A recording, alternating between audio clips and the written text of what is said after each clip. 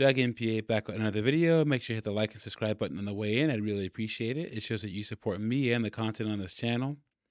I came across this video. It's called Men Scared of Working with Women Post Me Too Could Be Breaking the Law. And this is another video about how men have responded to the Me Too movement in the middle of the 2010s, 2015, 2016. Now, we all know what the Me Too movement was. You know, it was about women being harassed, all sorts of different bad behaviors, and then the men perpetuating that those behaviors being brought to justice. I honestly believe that was a small minority of men. I operate over here that the majority of women in the U.S. are good women, and the majority of men in the United States are good men because society couldn't exist if that wasn't the truth. The problem was it kind of gave women a whole lot of power in the court of public opinion because we all know that if certain things are said, you don't even get your day in court before you, you get punished as a man. So we're going to watch this video to see what these two have to say about why men have reacted badly to the Me Too movement because men are just avoiding women now. They're saying, I'm not going to go to meetings with women. I'm not going to mentor women. I'm not going to be in you know, I'm going to have my door open if I have a meeting with a woman. I'm not doing happy hours, none of that. And that's what I recommend. Guys, don't hang out with women at work. Don't do it.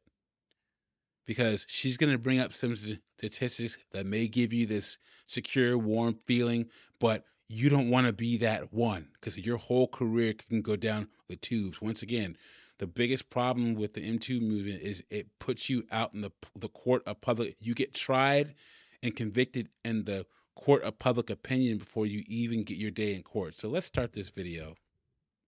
There's been some backlash about Me Too and some anxiety, as you might imagine. Many, many male managers and owners um, are feeling a little bit more tentative when working with and, and managing their female workers.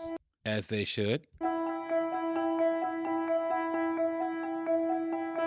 A large percentage of male managers were concerned about working with women one on one in the workplace. They were concerned about mentoring women. They were saying they were afraid to have meetings with women, to travel with women, and so on. It indicates. Now, look at that list mentoring, traveling, etc. You have to do all those things, making while making your female coworker quote unquote feel safe or feeling that you're doing the right thing.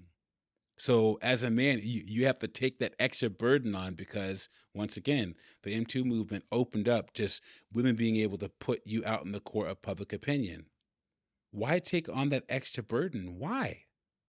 No, don't do it, guys indicates that there are anxieties and fears that we need to address. And in the case of men being worried about false accusations of sexual harassment, that may not be based in reality. Oh, really? See, here we go. She has these stats that'll make you feel all warm and fuzzy. Watch. The FBI, for example, has produced research that shows that only 2% of sexual assault claims turn out to be false. And that's actually no higher than any other type of crime. So men may be panicking over something that really isn't supported by the data that we have.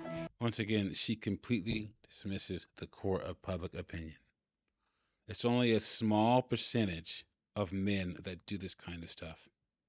A very small percentage. But the problem is, is women are operating like this is gonna happen to them in the workplace, and some women can feel that that happened, that something happened when it didn't. And once again, if women would just wait for their their day in court, but they go to social media, they do all these things, and you're screwed as a guy. Once I'm just saying this multiple times, I'm gonna say it again. Just avoid it altogether. And in fact, organizations where women are mentored and treated well and able to be promoted to positions of authority actually tend to outperform those where they don't. I think all guys and then we have this guy, Mr. Super Simp here. Here we go. Know how to behave when you're with a female. Apparently, you don't because you're part of this video. A worker. Oh, but I guarantee you, this Mark group teaches classes or does all sorts of left wing consulting on this type of stuff. So that's why he's saying this on this video. Uh, you talk about business. You keep things professional. There's a clear line about what your behavior should be. And in fact, the behavior that you have around female workers really shouldn't be any different than the behavior that you have around male workers. Yeah, guys. So learn how to behave because it's, it's all your fault. It's your behavior that's ruining the workplace. Nobody else's. Come on. And I say this to my fellow guys that are running businesses or managing people. Uh, you know, wake up.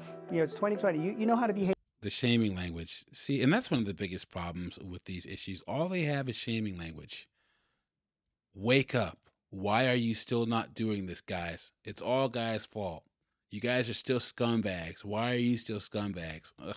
Behave. This should be no different than when you're going out with a workmate as well, regardless of age. If you're avoiding working with a potential female colleague just because she's female, and just because you're concerned about how your behavior might be, you not only hurt yourself, but you're hurting your organization as well. No, it's you're concerned about how your behavior will be interpreted. And if there's if you're not on the same page, you may think that you've been perfectly civil, but something could come up. And once again, she puts your actions or what she perceived happened in the court of public opinion, and you lose. Well, even worse than that, they may be venturing into the area of unlawful activity because if you're refusing to have meetings, for example, with women because they are women, that's getting into violations of the law. You have to treat employees equally, uh, no matter what their gender or their race or their sex is. The backlash doesn't mean that the goals of Me Too are wrong. It just means. Uh, really? So, guys, you you have to look up for you because no one else will. That's what this boils down to.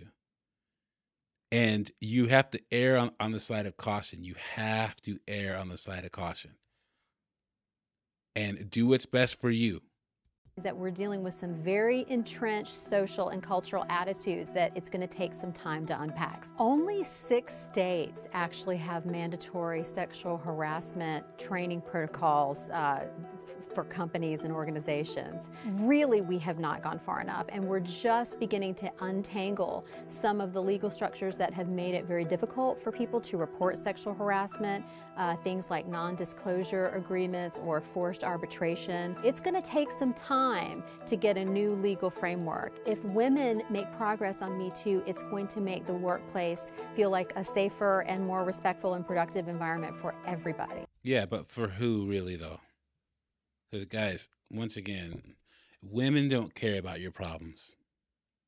They just don't, especially in the workplace.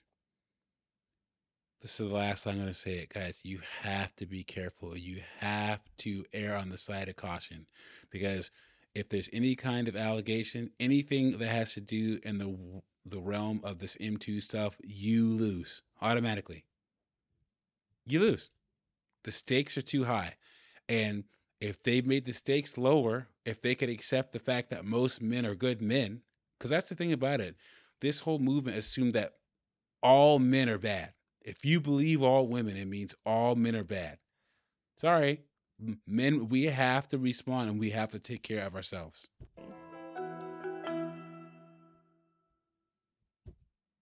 So that's the end. I work from home, so I don't have to worry about this, and I'm glad. And guys, be vigilant and make sure that you keep yourself away from any anything like this happening to you. That's your only action. Make sure to comment on what you think about this video below, like and subscribe, and I'm out of here.